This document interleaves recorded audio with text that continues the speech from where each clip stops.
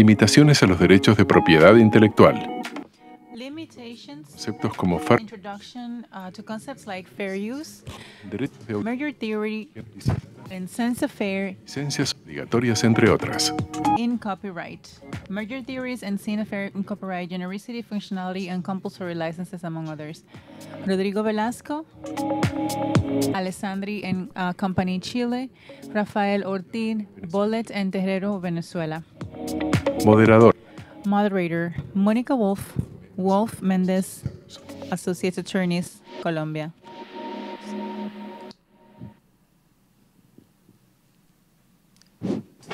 Buenas tardes a todos.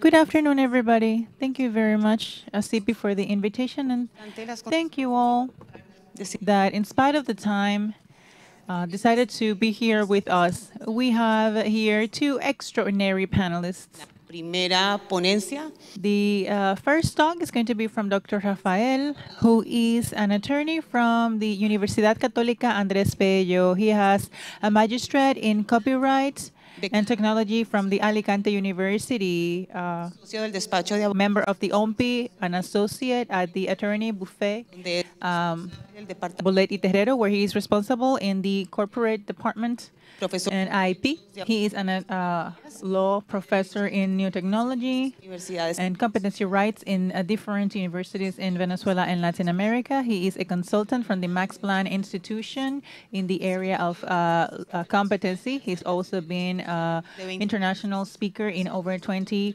countries. He's been an international consultant of the uh, international organization OMPI y de la Sociedad de Autores y Editores de España. and the associations of authors and editors in Spain. He's been published a lot. He's published a lot of papers in industrial rights.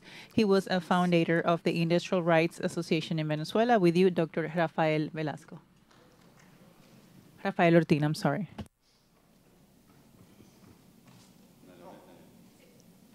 ¿Aló? ¿Se escucha? Bueno, buenas tardes. Para mí siempre Good afternoon. It is uh, always a pleasure for me to to speak with my Asipi family. I am very thankful for the invitation.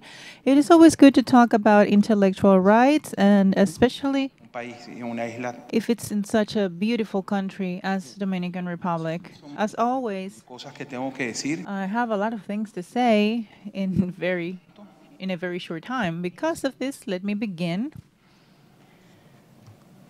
Este, para el slide. Uh, can we change the slide? Eh, con la siguiente Let me begin with the following quote. In the art of quotes, you always take something as the initiation point that has been an achievement for our predecessors. I stay with this quote to explain how complicated it is about the topic of limitations and deceptions. Bob Dylan uh, has bought Whitman, Tarantino, uh, you know, gets motivation from his favorite movies. In Spain, Fernando de Gaulle, a journalist, discovers at least 555 verses that are uh, superimposed entre ellos de Benedetti y Arrabal, uh, like from Benedetti and Arrabal, uh, from the discography, Silencio y su from the rock band Héroes del Silencio and its leader Bunbury. Ignacio Termillo said about this issue that there must be a concern, a legal concern. lo que hay But since we've had a collage, what we have is a lot of people that have been affected, but none of them has been um, damaged. As you can see, the situation is not easy. So, where is the limitation? Where's the limit between creation and non-creation? Where's the limit between authorized uses and non-authorized uses? We are going to be talking about this today, uh, focusing on the uh, limitations from the two big systems on the topic. On one side, el sistema del common law we have the system of the common law that is based on the general theory of utilization that reduces to a fair reward, awarding the uh, uh, the effort and the time that was invested. It's not uh, individualized, but there has to be a necessary interaction between the members of uh, an association to uh, boost the advancement of science that stimulates the social benefits through the uh, entrepreneurial activity. Notice I haven't talked about creativity yet. Creativity corresponds to the Latin system, the Germanic system, Francia, that, for example, France has belonged to, where the core of power uh, uh, rests in the author. Philosophically speaking, right and uh, pro- uh, tenemos esta frase que todos proprietary uh, get confused here. Let's not forget Chapelier with copyright todas las propiedades. is the most sacred of all properties, and both theses have legal consequences. The first legal consequence is that the bigger the protection in this system, in the uh, Germanic Latin system, less protection to the exceptions and limitations. Uh, that is in the common law system, which brings about a second consequence that the uh, German Latin system is a closed numeric system. Con- Al contrario del sistema common law, que es un sistema In contrast with the common law system, that is an open system with apertus numbers, and because of it is a little bit more permissive, which brings about a third consequence. Because they are uh, con las excepciones y limitaciones. closed system, the exceptions and limitations have to be specifically established within the law. And here is where we see the rule of the three steps. In open systems, open systems are based in jurisprudential rights.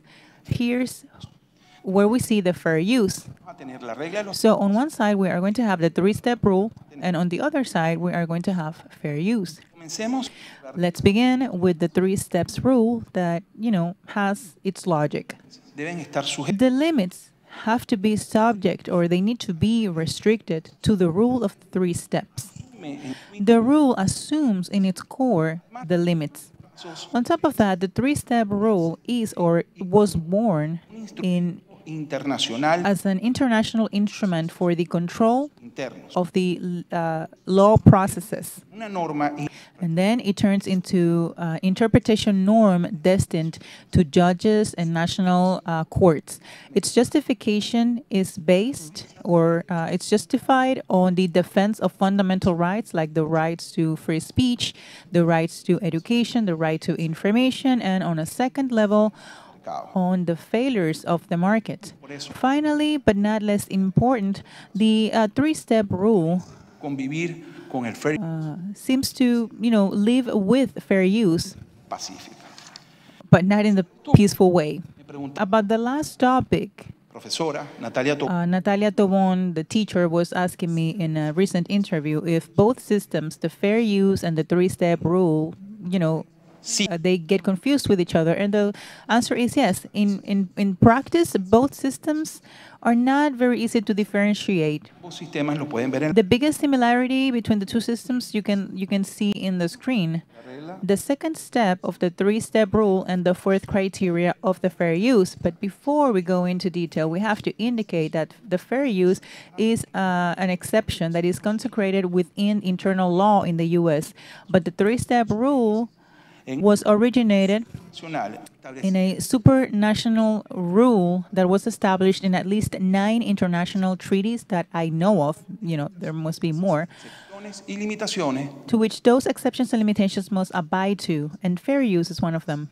Furthermore, autor ingresó en la declaración when you have copyright integrated in the Universal uh, Declaration of uh, Human Rights, it became universal, and because of this, the three steps rule now it uh, takes more importance before the common law, mucho más general. Which is of a more general nature. So we have two things uh, into play here. The first thing is that we have observed that it's served in many, many opportunities as a diplomatic, ideal way to try and consolidate discussions about the different interests, like cultural, social, economical, and political. y la- el- Here's where you have common law and the first use. Que el carácter, So we can say that the character of the three-step rule is conciliatory. la prueba se encuentra And because of this, the proof control, is to exercise control over the U.S. institution, the fair use, and not the opposite. seguidas Vamos a ver cómo se So next, we are going to see how we interpret in the law the application of the fair use in our uh, German Latin system. In Spain, we have the Megakini versus Ruhr case. Uh, the Supreme Court in the in Spain identified the three-step rule with the doctrine of the fair use when they about when they approved the, the U.S. criteria of the fair use that the appeal judge had made in a hearing. Basically, they indicated that uh, the fair use can be used as a guideline if the principle of prohibition of uh, abuse of rights is present is present and of good faith is present. And also it's based in a figure that is going to be repeated in many uh, sentences of this time which is an uh, inoffensive use. Menos que la critica el profesor so professor Bercovitz uh, criticized this sentence because the application of the proof as he indicated and i put it here in between quotation marks can give origin to the U.S. fair use in a completely different way to the Spaniard one that is of civil based, creating uh, fluctuante. Cierro con creating an insecurity because of fluctuations in the law. Somos países donde se legisla más que todo. So basically, we are uh, we uh, are ruled by legislation most of all. que eh, One of the conclusions is sorry, I got lost. indica que la interpretación The interpretation has to be strict in the two first steps, meaning que sea una, un caso especial in the case that is a special case and that it doesn't attempt against the exploitation of the original uh, creation and it has to be a lot more flexible in the third step it cannot go against the legitimate uh, desires of the author Colombia. El caso Luz in Colombia, the case of Luz Mary Giraldo in the Supreme Court of Justice determined the uh, inadequate appropriation of some fragments of the thesis from the ex-alumni in the university. la regla de los tres And in that, they compared the three-step rule with the fair use when they uh, said that they have the same function. In Argentina, they don't have the three-step rule. What they have is the quotation rights, and some of them identify that as the fair the fair use. We have three cases. The first one, Diego Oberriel, and the movie from the uh, boxer Carlos Televis- The one from Diego Gurs, Televisión, no caso de that cites the, the above presented case of Monzón contra el diario and the case of ligaments uh, rupture in a case from the nation. Que More or less, you indicate in them that you admit the exception of the use of images in a TV show and the possibility of replicating TV formats. el derecho de cita Uh, in this way, you assimilate the quotation right into the fair use, and they mention again the inoffensive use. en el caso de Monzón el- In the case of Mons- the case of Monzón, que se había cometido uh, the person alleged that there was a conceptual mistake when they equalized the quotation rights to the fair use, an institution that was not part of the uh, law enforcement in Argentina, but they didn't take into consideration this argument. And finally, they argued in Argentina that they used the expression honored used at the time that they did the Paris uh, decree. And because of this, it has a certain similarity with fair use. And now that we mentioned honored uses, in Ecuador, in the Iturralde case, Determinó que a dif- they determined that in, in contrast with what it's seen in the uh, U.S. law, the cases have to be specifically expressed in the law. Because of this, there is a difference. So it is logic to think that there is a confusion between the two institutions. So because of this, we have to review what fair use is.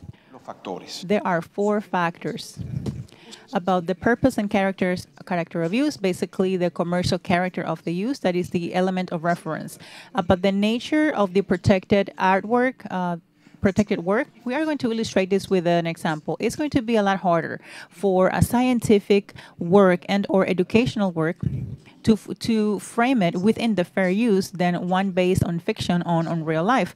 The reason for this is that in the first two ones, uh, the element is a lot more difficult to separate from the idea that is being that is trying to be transmitted. Because of this, In the first ones, the violation is normally going to be duplication of the authorial element. But in the second one, it could be uh, some elaborated theft. Uh, but the quality and the importance of the part that was utilized against the uh, the, the art, the work as a whole, basically the quality, the core of the work. An example.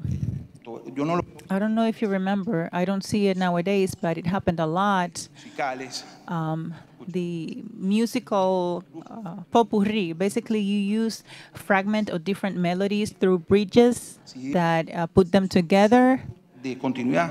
De continuidad. Bueno, esto era una técnica que They didn't have a continuance. This is a technique era la melodía principal. that was used a lot because uh, it was the main melody. You couldn't use, you couldn't apply fair use here. A quantitative uh, case, and we're going to see it later on, is the Oracle versus Google, where they copied 11,500 lines from the source, the main code, but being only 0.4% of what the total code was. The fourth factor had to do with the effect of use in a potential market um, from the protected work. The first thing we have to do is that if it passes the first three factors, but it doesn't uh, comply with the fourth one, there is no fair use. The criteria here is that the most transformative the use is, there are less possibilities that it's been modified in the original market. And because of this, more possibilities to apply fair use.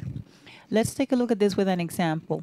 It is more feasible to be considered a fair use of a cinematography piece of art in an educational activity uh, than for it to be qualified the use of the same cinematography art de una beneficencia. to get funds from uh, uh, Es para lo mismo el entretenimiento. from a Mientras que en la primera beneficiary organization. The first one is not entertainment, but it's educational. So there is a transformation of the use. So the common sense tells us that you will stop paying for some piece of work in the market if you can find a substitute uh, work that is either cheaper or free. o de la- So the substitution of the original one or the main one could be the result of reproducing either a good percentage of the work or the core, the main core of the work. práctico del fair use. Let's take a look at a practical case of fair use. On January 6th of 2020, the Massachusetts court declared sobre cinco videos puestos uh, it cannot be applicable the fair use about five videos between the year of 2014 and 2016 in YouTube from the artist Prince. The person that was being sued declared that his videos were non-commercial and they were transformative in nature. Que las grabaciones But the sentence indicates that the recordings didn't add a new meaning into to the original work. eran más de necesario. Also, they argued that they didn't use any more than necessary, but the sentence indicates that it's not just about the concert per se and its distribution, but each one of the works with a duration of 17 minutes that are the core of the work. They argued that it didn't have any negative effect on the market for the work, but the sentence says that it is negative for the original work because the videos that were uploaded by the user deviated the traffic, uh, uh, making it difficult to monetize it. Decisiones sobre first use Once the all of the topic of monetization about fair use is done, let's go to the three-step rule. It was first originated in the Verna Convenium that happened in Stockholm in 1967, but relevancia en el año it also started gaining relevance in the year of 2000 with the case of music in small establishments in the USA through the publication of a special technical report from the um, uh, Trading de la Unión Universe Organization. Unidos. A partir de este momento y no antes, from that point on is that the rule acquired, uh, you know, certain uh, protagonism in the in the law in our countries. Specifically, the OMC aprobara una ley que uh, sentenced the U.S. for approving a law that was against the Article 13, the one about exceptions and limitations, because it exonerated en los establecimientos those establishments like bars, uh, pubs, and restaurants que no le pagaban to play music that were not paying to copyrights. a la sociedad irlandesa Basically, The Irish society porque no se iban a pagar los derechos de los the Irish community was going to be damaged because they were not going to receive money for the music that were uh, was being played in American pubs. In this case, when you argue the first rule about whether or not this is a special case, they indicated in the report that they have to be there has to be uh, a typification of the limit. Like there were so many pubs, so many restaurants that were going to be benefited from this. That this is not an exception but a rule, and because of that, a consolidar el establecimiento destruye to to put a limitation to so many uh, establishments uh, goes against any quantitative laws. So they're not specific cases, but they have to be differentiated from generality. They don't exclude the possibility of having exceptions of open character like fair use, as long as they respect the other steps in the rule. And finally, Deben ayudar al bien común. they must help the common well-being and justice. Con relación al segundo pa- In regards to the second step, I'm going to give a few sentences that apply to the second rule. First, the case between editorial and journalist uh, commission versus Google, and the second one is the case of the World Web versus digital journalism. These sentences are centered about the cache capture. That is no more than a reproduction act where the user can access to the same pages mucho más rápido in a faster way and later on with the end of putting available to the public all of these um, articles that are uh, gotten by Google News. consiste en la In this case, they used press typing, that is recollection and the summary of the totality of the news that you see in the different media, the different communication channels, to offer them in a more organized and sectorized way. To the companies that contract such services. The content was put to the availability of the public in a systematic way, in a free way, almost simultaneous and almost universally. Obteniendo, obviamente, ingresos por Obviously, obtaining revenue for ads, advertisement, or sponsorship. In other way, the user was not going to the original site, to the original diaries or journals. And because of this, the editors were losing in advertisement. Because of this, you affect the normal exploitation of the work. La Sexta utilizó So the sixth one used a fragment from a program from Tele5 to mock that system. Both of them were competing in the same market, and because of this, they allowed for a competitive advantage at the expense of each other's content. So they didn't overpass this rule either. So here, with the use of these fragments, they don't have uh, freedom of quotes. So the program didn't have an informative purpose, but just entertaining. de We have the case uh, Toro de Osborne in Sevilla 2006. The Toro de Osborne is protected as a brand, but also copyright.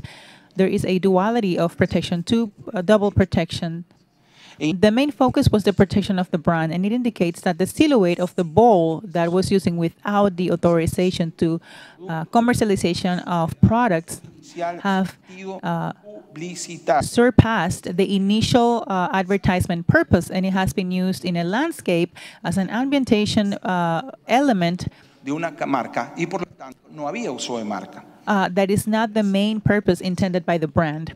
But in that area now, Autor.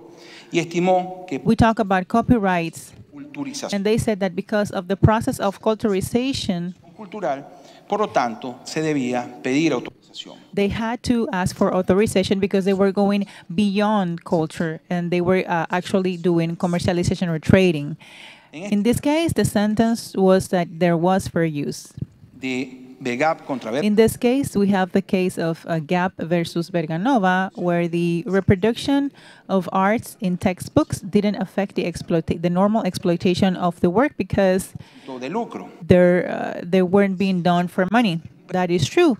It said on the sentence there is there is preju- prejudice, but it can but it's justified because it was based on a just and proportional cause.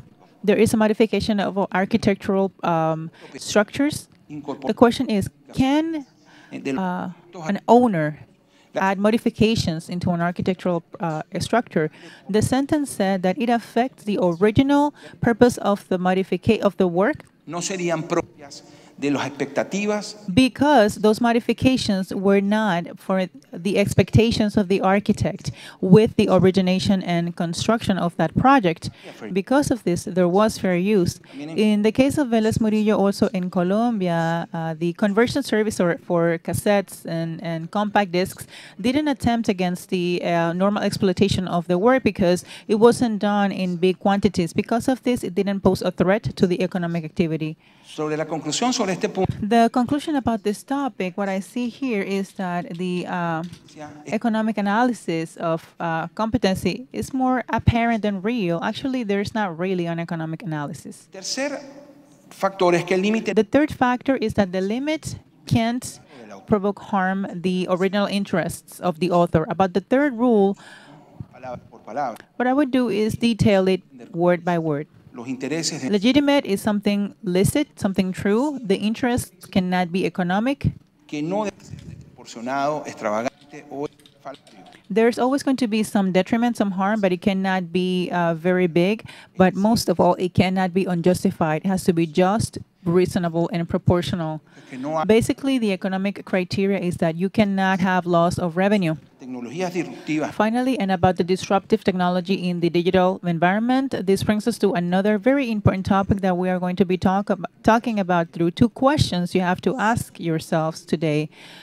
Is copyright uh, a, a blockage mechanism for uh, innovation and competitiveness in the technological world? flexible de los límites Must there be a more flexible application of the limits in regards to technology? It looks that the recent decision of Oracle versus Google because of copyright and compensatory damages of the software Java that at its time was from Microsystem and then it was purchased by Oracle. Copiado como ya les dije en 11 It was copied, like I said, in 11,500 lines, 0.4% of the total of the API code the, por parte de Google. from Google. This copy was based on the fact that it was an organizational structure. We shouldn't uh, overlook that, that it was necessary for the uh, programmers that were hired by Google to activate similar tasks en la medida de lo posible while they tried as much as possible to implement Android. the Android system. Basically, they didn't need the source code. Like the sentence uh, said itself, when you ask for a meal at a restaurant, you're not asking for the recipe. sobre esta sentencia About this sentence, there are several things. First of all, what Google was looking for was como una interfaz to get to the app, to the API, and to see it as an interface between two softwares that are trying to exchange uh, data, like, or like a software and a hardware that are trying to be uh, operational with each other. software protegido por But you had a protected software by copyright. Uh, Google always alleged or argued fair use. So in the decision, you have to ask yourself, what is the main purpose for the copyright? To compensate the creative work from the authors or to promote the progress of science and useful arts. What I said at the beginning is just a confrontation between two systems, common law and uh, copyright. Here, I'm going to make an excursus. Keep in mind the special features of the nature of the software. Let's remember that the functionality is not protected. You have two programs that can be the same or similar, but because of that, you don't have an infraction on copyright. Let's remember the series of the code of uh, Discord in Netflix. When the protagonist of the series was the author of the code from the Google Earth, he said Google had millions of way pero eligió of getting to the same results, but they chose mine. los magistrados de la Corte Suprema So, following the sentence, the magistrates from the Supreme Court asked themselves this couple of questions. afectados por los de Is the rhythm of innovation affected by the copyrights or the intellectual property rights? Were the intellectual property rights designed in a time when innovation was uh, gotten in a different way? The Google versus Oracle case has a really big component that I think it's fascinating for copyright. The possibility of understanding uh, work as the standard of the industry In this case, the structure, the organizational structure of the importante, what prohibits, and this is very important, the uh, cross licenses, cross technological licenses, a lot of them generating income that are inefficient for the technological market with everything that it implies, like uh, interoperability problems, protocol standards, anti-monopoly, functionality, and what some called the facilitations. Uh, basically, I think the conclusion is that there are two ways today in the US of innovating. One is incremental innovation supported and controlled by copyrights, and an accelerated and radical innovation that is supported by free writing que es lo que sucedió para or legal advantage, which is what happened to be able to create the Android system. So, in the topic of technology, we are open to a new world in this confrontation between copyrights and innovation. Esto debe permear, yo creo, en el mundo And I think this needs to be permeated into the uh, technical solutions or patents. Because of that, I want to repeat the words from my teacher, Manolo Desantes. In regards to patents and innovation, the rest is to incentivate in open and uh, cooperational environments and with very high speed and obviously without you know keep protecting the authors and the companies. existir de una there is a crossover that is necessary from exclusion to collaboration. And don't be afraid exclusiva en esto. to relaxing Se utilizarán uh, the law in this topic in this way we can better utilize patents Exclusion today would be, would make it almost impossible to develop the technologies that we have available, hybrids, collaborationals. Entonces, hay que ponderar la So we have to ponder. We have to put innovation together with incentives. Uh, something else that's happening in this world is the standard essential patents. Essential patents that come from essential facility. Basically, innovations that have been able to almost be a part of a standard de una industria para utilizar in an industry un mecanismo de to be able to use them without being uh, a roadblock for those patents that are needed to be lo va a hacer muy found. vamos más temprano. So for the closing, I think Monica is going to close that like we talked earlier. Thank you very much. Dejamos las preguntas para... Let's leave the questions for the end. Sí. A continuación, Next, Rodrigo Velasco, quien es eh, abogado Rodrigo Velascos. He's an attorney from the Universidad of Chile, and he's a musician, or he's a musician and an attorney. Berklee College de From Berklee College, Berklee College in Boston. He is the director of the technology and intellectual prop, uh, proprietary in the uh, institute in Chile, legales especializadas, tanto en las áreas de uh, both in intellectual property and also in uh, technology, media, and telecommunication. In 2011, he was named among the first three derechos de autor uh, referees uh, for the intellectual property in the Ministry of Culture in Chile. He was part of the Council of Music of the same ministry until 2017 when he started being the president of the Beethoven Association. In 2019, he was nominate, nominated to the Diversity and Inclusion Awards uh, uh, in recognition uh, in pro bono with the Estudio Alessandri and organizations that promote equality in the uh, workforce in Chile.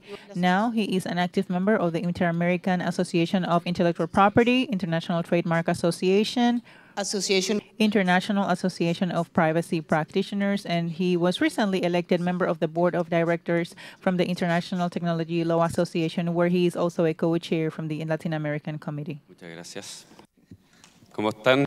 Thank you very much. How are you? Good afternoon. Thank you for being here at this time when we should all be taking a nap.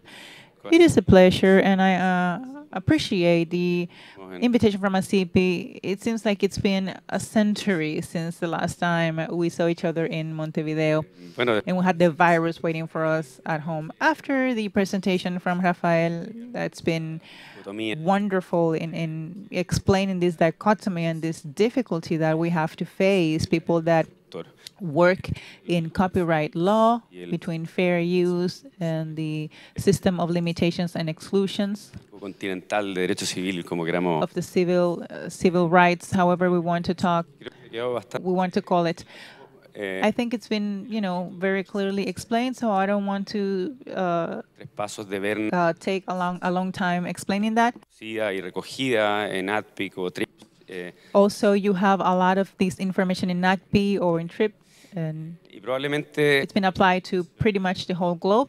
And at a national level, it is very difficult este, números clausus de excepciones de limitación. Uh, to be able to count all of these limitations and all of these exceptions that we have to review each and every time to see if they eh, actually adhere to uh, a non-licensed use without any revenue for the owner, the title owner, especially in the um, audio-visual case or the audiovisual industry, and I would like to give you a few practical cases of those difficulties. In the case of fair use, we know that it is built que se hace inversely. It is an analysis that you do el fair use after the fact. determina un ámbito Basically, it determines a subjective environment of fair use tendría que ser revisado luego that has to be reviewed later on by a court. In the case of Prince, for example, that we're going to talk about later on as well. Uh, that way, they determine if whether or not uh, there is a fair use or if there was an infraction of copyright. The difference in between the systems is very evident. Uh, the copyright obviously has this tradition basada yo diría en los derechos de that is based more and more in the rights of personality, moral rights. Nos dejan claro que tiene una visión And you know, copyright is right there on the name. It has a vision that is more economic towards the exploitation of those Ah. rights. In the case of Chile, they had a we had a very interesting discussion in regards to the reform in 2010. presentó This was a reform presented by the president in Chile in 2008. And I remember when they launched it, the reform to the law of uh, intellectual property, a lot of us that were invited thought we were in the wrong hall because there was a lot of uh, uh, children, uh, disabled children that were blind. por ejemplo And basically, this was about libro en forma allowing to reproduce a book in an audiovisual way for uh, a person with no sight to be able to read it. And yes, it is a reform that is based on the uh, Treaty of Free Trade with the US. It actually turned out to be a public discussion of the fair use excepciones y limitaciones or the system of exceptions and limitations. At some point, como they talked about the rule of three steps as an exception to copyright infraction.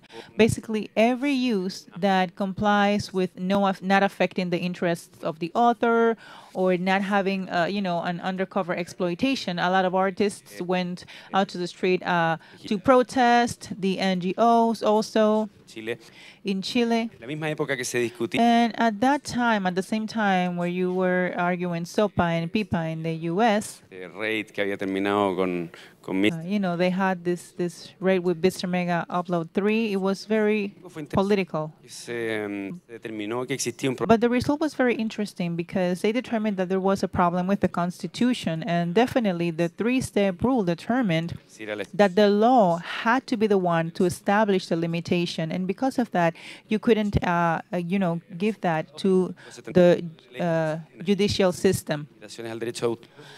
So, in results of this, we go to we get to the letter U. Basically, you generated a wider catalog of exceptions. Uh, you know, for libraries to be able to digitalize them, for parodies, for different uses in the audiovisual world. And one of the examples that I want to tell you has to do with the exceptions for audiovisual works.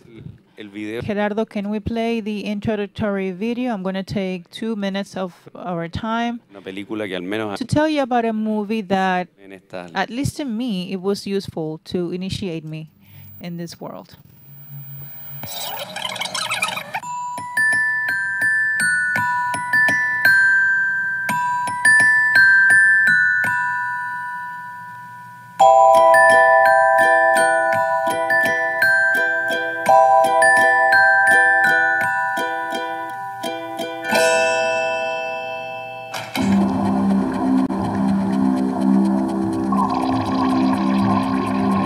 Esto es acerca de una película sobre el dictador Pinochet en, es- en Chile. La gente iba a votar en un referendo acerca de si Pinochet se iba a quedar sí o no.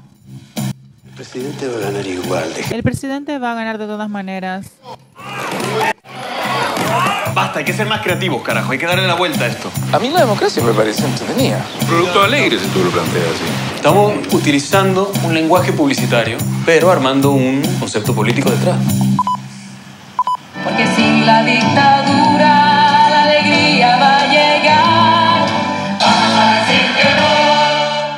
¿Qué chucha hace un mimo en medio de mi película? La oportunidad que tenemos de derrocar a la dictadura. Esa fue un suicidio, serio, Lógico que quieran ganar, pero no pueden, no pueden, ¿cierto? Veo problema.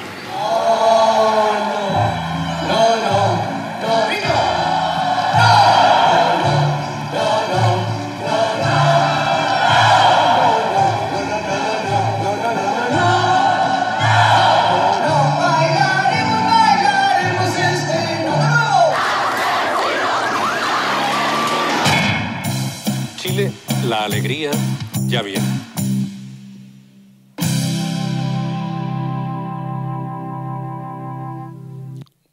Bueno, cuando Pablo Larraín When Pablo Larraín, the director of this movie, uh, came to us to ask for our help and our guidance, honestly, it looked impossible because it is a movie that is made with material from that time based on the political uh, time that a lot of publicists constructed. This is based on a lot of fiction. Nobody wanted uh, to touch this. Obra decían yo colaboré, pero So, you know, I collaborated, but I couldn't give them a license or nothing of the sort. The amount of works, including advertisements from that time, use of brands that were used to contextualize this this movie. This is a movie that was filmed in VHS format, actually to give them more of the feeling of the television of that time and to be able to mix the scenes of the movie with real scenes. We were able to get some licenses in national television, but there is Excel of about 500 points, 500 topics, with a lot of uh, uh, question marks. We had to go to the new catalog of exceptions and limitations that was set in 2010. Fue mi pesadilla por mucho tiempo, We even had a, a little excerpt, a little part no lo podía resistir porque that was my nightmare for a long time. It was the example of the publicists to the politicians of the type of publicity that they had to, they wanted to do. Campaña del, del Live Aid for Africa, etcétera. For example, like we are the world with the Live Aid for, Af- for Africa, we had to get involved with the clients and tell them, like, uh, ¿Cómo va a sonar what's the size of the television in how many seconds uh, the planes are going to be played for, and we don't have to pay a fifty thousand dollar fee because if we didn't have We Are the World, you know, we didn't have any movie. So what happened? Una de realizadores. Uh, it was great. They won the, the, the award in Cannes. And, you know, good news for the client is good news for us. Sony Picture Classics offer them a distribution contract for the U.S. Y viene lo que a mí me dejaría And now we have here eh, una enseñanza que le what you know taught me a lot that I something that I want to teach you as well. We attorneys we can argue a lot about what is fair use and what is not fair use and how it reflects in an exception and limitation in the system of civil rights. But definitely the end is here. de er- The insurance for errors and omissions. The only thing that a distributor, an American distributor, cares about and generally in the world has to do with the declarations that the attorneys have to comply to that made the chain of titles la aseguren contra la for the effects of the movie to be insured against uh, being sued. en el comercial And here you can see the the the the guy that is imitating Charlie Garcia, going through the brand and other people that were affected because of their relationship with the military regiment. It was a big mess. But the fundamental thing here is to understand that this, this dichotomy between fair use and exceptions and limitations in our system have to do with the responsibility from the producer in the jurisdiction where they are making the movie. Tu acostumbrado que las we are used for the movies. We were used for the to the movies, you know, uh, being made in Hollywood, so they always had fair use.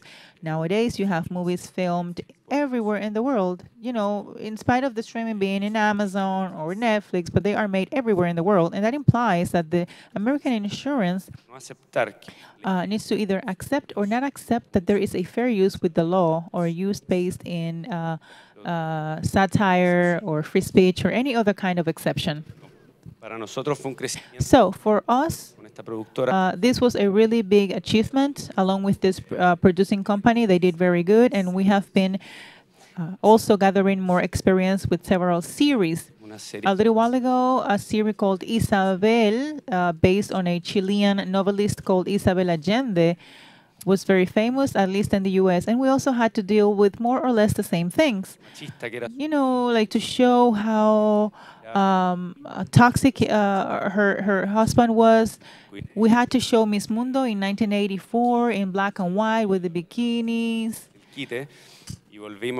And then we went back to We Are the World, like I said. So we have to convince HBO and the insurance company for HBO that we don't need a license to use that content because we comply with certain parameters that are of incidental use due to the Chilean law and they also belong to the fair use law in the US. You know, the issues are a lot. Isabel Allende has a daughter, Paula, that died a few years ago, and she gave very big authorization. She actively participated in the series to use her name, her story, and all of that. But the daughter died as an adult, and she had a husband, so we had to ask for uh, no veía hace mucho tiempo. images right to the son-in-law that she has not been in a long time. Eh, She has not seen in a long time. eh, The other case we had to participate in recently is the series El la primera serie Presidente. El Presidente was the first series that Amazon did in Chile, del escándalo de corrupción. and it tried about the corruption scandal from FIFA and the Commonwealth specifically. Colombia. ¿Cómo se Uh, they had a Colombian actor. He was like the, you know, the main bad character. Andrés? Andres was his name. I don't know. Pero Anyways, it's a series, eh, escandalosa. and it's a very scandalous series because obviously it tried in a very raw way, you know, real names of people. It went beyond limitations of copyright. It went beyond parody. presión y el- Uh, we had to base ourselves in free speech and on how to tell a story that had, you know, been to the justice system y, preso en Estados Unidos. and somebody that is, you know, still in jail in the U.S. He's in a witness protection program nowadays, and also because it started happening that uh, these characters registered their names as trademarks. They thought, erroneously thought, that they uh, they thought their names were not being able to be used if they register them as trademarks como marca para servicios de clase 41. for services of 41 classes. Eh, So they thought they erroneously thought that because of that their names were not going to be used. Now the only uh, action that is still in process que pretendía sacar la serie is still here. Uh, you know they wanted to remove del presidente del fútbol the work from Amazon. It is from the the woman from the Chilean president. Derechos de propiedad industrial, We have a, a lawsuit here that has had everything. lucrada por supuesto en los escándalos de corrupción. Uh, she is there in the corruption scandals. El discurso, creo yo, a partir And everything has been varying from the use of name as a trademark, the use of image, to the most recently one that was uh, an accusation of uh, gender violence. La propiedad intelectual. Uh, gender violence is a, a little bit more concerning for Amazon than intellectual property. Pablo Larraín, que So we are represent, representing Pablo Larraín and Fabula, the producing company, and Amazon. nos todos al mismo tiempo. En el Not because they all want us at the same time, but because at the end of the day, we are working for an insurance company that is paying for all of the expenses that come precisely from the clearance that we did two years ago, justifying that this movie or this series was insurable. Ejemplos hay muchos que, que You know, there are many examples. I don't have a lot of time, so I'm going to propósito de derechos move faster. Something I was saying before in regards to image rights. eh, con Ana Tijoux, una cantante chilena, With Ana Tijoux, a Chilean singer, she's very polemic, very political. ¿cierto? Se lo- A friend of mine, by the way, she decided to use a cacerolazo. It was a hip hop based on real images of the social riots in Chile in 2019. Again, we had TV images, YouTube images, TikTok, Twitter, and like, we didn't know who the, the owners were. I think we took a month to be able to upload it into YouTube without YouTube automatically downloading it for using like content they, they identified as CNN or uh, other news. They blocked it when we finally got to upload it. They blocked it for being violent, having violent content. So we had to auto censor the video and uh, we had to uh, take off some of the violent scenes to make it viewable. de lo que conocemos como el, el notice and takedown. But this is something contrary to the notice and takedown based on the DMCA from the US of downloading or, or taking off a video right now on how to upload content that is based on fair use when the robot insists that that is an exclusive right that is uh, protected in the copyright law. Here, the most emblematic case probably is the Dancing Baby from Prince. Creo aparte de que muchos lo I think uh, Prince is considered a genius uh, in music for a lot of people. He was very obsessed, like Steve Jobs, with suing everything tanto así that had to do with his intellectual property.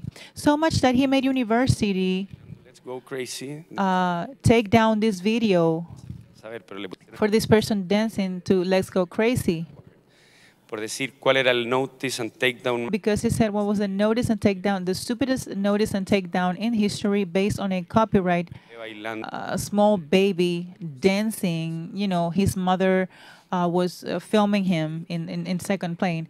What is interesting is that Erin Brockovich, this mother, not only completed the counter notification to keep the video online, but he countersued Universal for the abusive use of DMCA and establishing a precedent that is going to the Supreme Court in the U.S.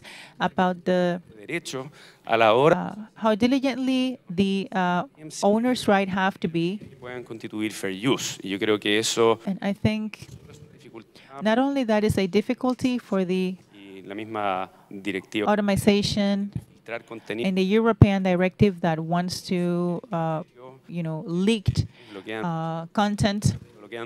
They block memes, they block parodies, they block everything.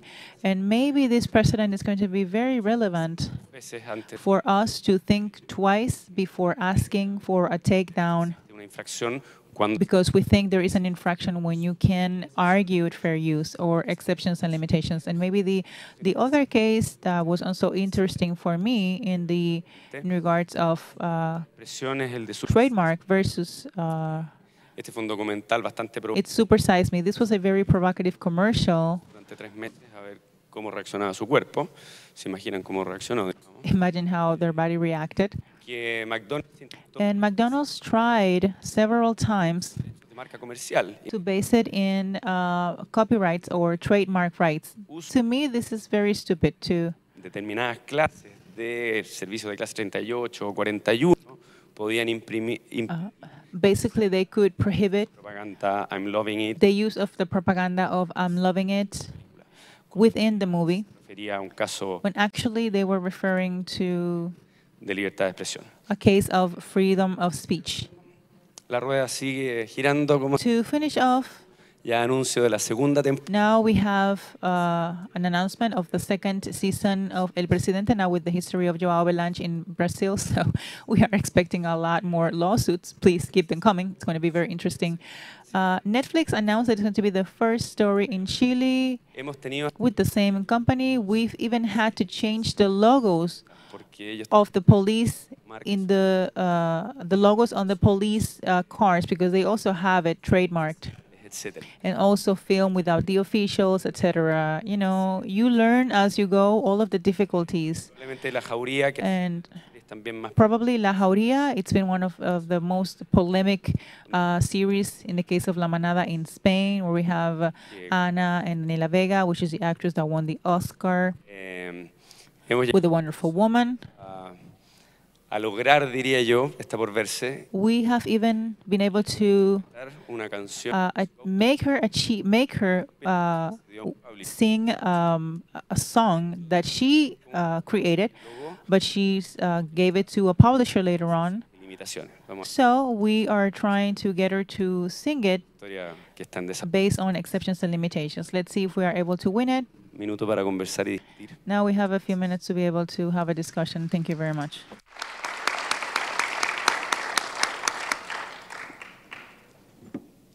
Tenemos unos minutos para preguntas. We have a few minutes for questions.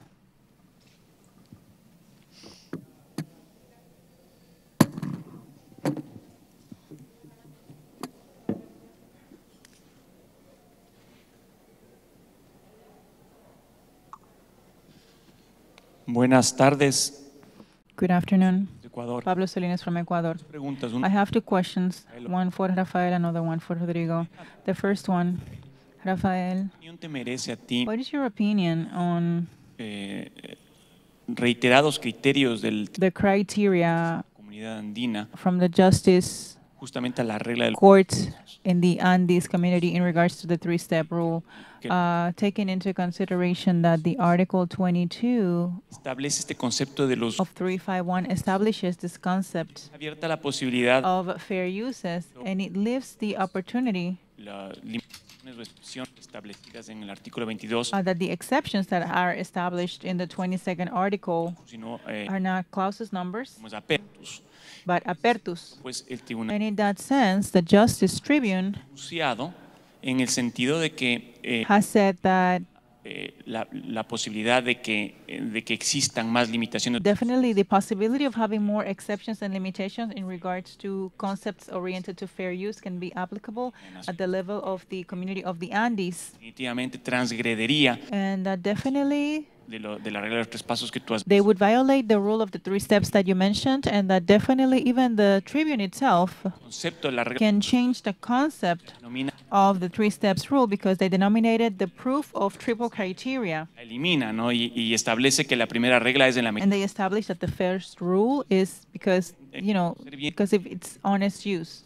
I want to know what you think a little bit about what the uh, para hacerte la, la pregunta a ti court says. And Rodrigo, your question, what do you think a, a justamente algo que tú mencionaste muy importante about something that you mentioned that is very important in regards to limits and exceptions mm, eh, eh, muy específicos de cada país. that are very specific for each country? Eh, Yes, there is protection in regards, the copyright protection is universal. It's not like that for limits and exceptions. So eh, how can we do maybe like a checklist of adherence ser explotada en to know if a piece of work is going to be exploited in different countries that have uh, different limitations and exceptions. You said in the in Chile you have until the letter U. In Ecuador we have 30 exceptions and limitations, but maybe other countries don't have so many exceptions and limitations that you cannot adapt them to those countries, and they could constitute an infraction in one country but not in, in another country. Eh, ¿Cómo estás? Hi, how are you? In regards to the 351 decision, Como han abordado el tema, to me, the way that they have gone about the subject, it's very similar to the one in Costa Rica. me da la sensación, They're not cumulative, but I think that they are adjustable, and that's not no está bien that's good. That's not good. desde el punto de vista como profesor, If you ask me my point of view as a professor that likes to read about doctrines and all of that, I think the decision 351, and I celebrate that. But you know, in an environment like this, posible una flexibilización, they are trying to be more flexible sería el fair use un poco más abierto and have a, a little bit more open fair use, a este lado, es decir, a nuestro which helps us a lot. It helps our clients a lot. Usually, para violar el derecho de people are going to call us not to violate the exclusive rights of, you know, the, the copyrights, etc., but to see how it can be used without having an infraction. el tribunal andino, So I think the court system in the Andes si lo ves is going towards the right path. de if you look at it from the point of view of technological topics, de they have a really big path for disruptive technologies, software, etc. I think they are doing okay because they are getting more flexible in that topic. And that's what you have to do. You have to to be more relaxed about those rights. I think the topic of entertaining, for example, Dice, uh, in entertaining, you know, you have to have more flexibility in regards to the works. estar con el tema del- More for entertaining than for culture. Eh, bien, bueno, en, en relación con las excepciones y In regards to the exceptions and limitations, I think that yes, naturaleza, the system have collapsed because of its nature, because of the harmonization that exists forma en que among the treaties has to do with the three steps rule rules. But the way each legislation uh, applies that rule is very diverse. We saw it in the reform in Chile in 2010. como una suerte de We have, for example, the donde cabe todo, que tratamos the system of quotes is something where everything goes. For example, we try to interpret everything, but it doesn't always coincide with the use, with the incidental use, like it's called in the TV sets. Yo le contaba a Mónica, Like I was saying, Monica, before lunch, nos devolvió el when Sony Pictures gave us back the, the duty list with like over 500 points, and I was only concerned about whether or not We Are the World was fair use, I couldn't even sleep. Y era que en algún minuto salía un publicista We also had uh, uh, at, a, at a, some time a publicist speaking on set, and he had a picture of Marilyn Monroe in the back, and the U.S. rights that requires publicity rights. Que se dio en Estados Unidos. Uh, so in the version that was played in Cannes, Cannes and the one in the U.S., we had to erase that digitally.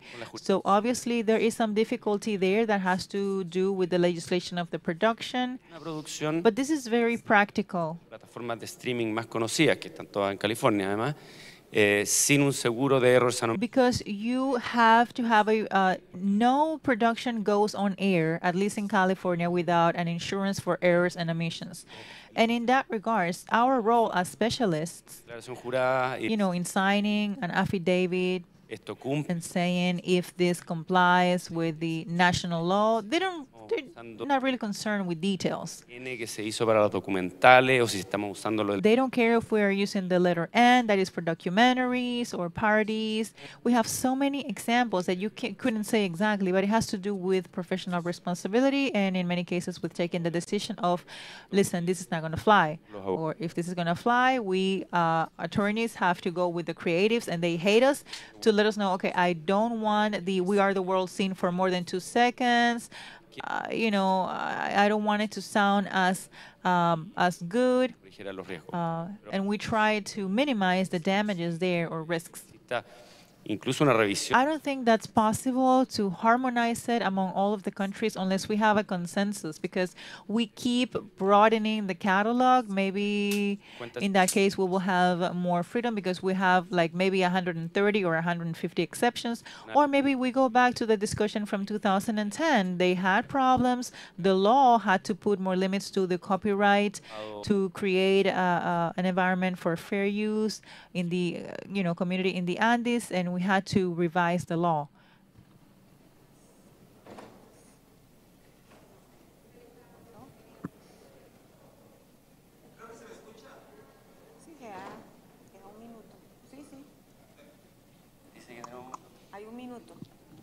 Sí. We have one minute. Primero, antes que nada, Rafael Rodrigo, First of all, Rafael Rodrigo, congratulations exposiciones excelentes. Sí, for these excellent expositions. A- a- han tenido ya acostumbrados a Uh, disfrutar mucho de, de sus exposiciones y we have always enjoyed your presentations very much, and um, it gives us the opportunity of learning every time we listen to you. Thank you very much. tengo Um, pregunta de, de probablemente de opinión personal de ustedes. This is a I guess, a public opinion. Uh, uh, sorry, a personal opinion for you. You mentioned the U.S. patent system as a, you know, very lax system, very, not very strict system, and it's Si se quiere, como uh, very basically it, it, it makes you want to innovate. It incentivizes innovation a lot. es un gran incentivo para innovar. Y la excepción al derecho de autor, evidentemente, el tema So we have fair use. es impresionante cuántas veces repite que la que el derecho a You mentioned that copyright is not only to protect the title owner, but basically to motivate innovation. And I repeat that a lot. That sentence is very interesting. My question is, how do you see, as a you know attorney from Venezuela and an attorney from Chile, how do you see the fair use system in our countries? How do you see our judges applying that system? Ah, eh, que se acabó el tiempo. Sorry, we ran out of time. Uno, uno se tiene que quitar eh, la You have to tip your hat propiedad intelectual, when you talk about intellectual property, romantic uh, right, and you have to go to the practice. I always preach fair use for being more permissive because that creates more businesses, more innovation, and other things. Ya, la guerra estuvo planteada y sigue. En el 1990 Back in 1996, discutir los tratados when they started activating, when they started uh, talking about the IEF uh, treaties in regards to copyright, all of those platforms were trying to get more uh, remodeling platforms. You know, I use it, I don't ask for permission, and then I pay you later. No, no, no. Then there is another sector that said, no, no, no, no, no, exclusive rights, you're not going to use that. You're not going to change that. Actually, platforms were trying sino as much as possible not to talk about reward uh, rights, but rights for advertisements. They tried to remove copyright. They didn't. They couldn't do it. But that tension is still there, and it's still going to be there between innovation and creation. hoy si me pregunta por los If you ask me today, clientes que representan, because of the clients that we represent in many cases, I advocate for a fair use, of course. Entrar más nunca a la OMPI, pero eso Maybe OMPI won't let me in there anymore, but that's what I think nowadays. Yo coincido. It needs to be more flexible. La verdad, el análisis de, de los I am not afraid of the analysis of the three steps. At least in Chile, we don't have a special uh, court for that. Uh, copyrights are handled by the civil court, but I think judges have que les permite al uh, a civil training that at least allow them to uh, clearly identify when you have, económica o lo you know, affecting ex in economic exploitation. morales, cuando se afectan los intereses del Basically, they uh, also have to do with moral rights when the rights of the author have been affected. salga el documental. Of course, you don't want McDonald's uh, wanting the documentary out. McDonald's doesn't want it to get out, or the history of the uh, situation on the north. Acreditar But I think there is a way of giving credit where credit is due, and knowing, of course, when the exploit exploitation is being affected, son los desvíos de clics o or uh, basically the rerouting of clientele, the rerouting of click, uh, clicks.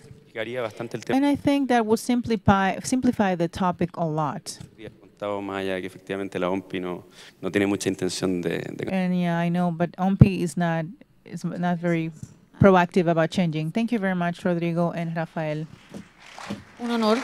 It's been an honor. a nuestra moderadora. Thank you to our moderator.